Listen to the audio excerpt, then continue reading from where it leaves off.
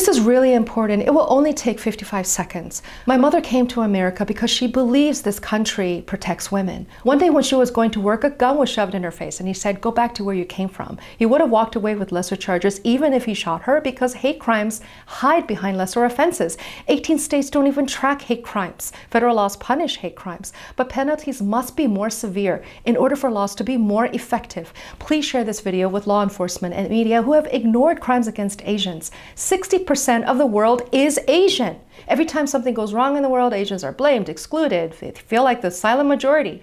Women are the most vulnerable. 68% of Asian hate crime victims are women. Violence against women, violence against Asians must stop. We must increase the severity of penalties. We must help prosecutors to seek harsher punishments. Make hate crime a crime.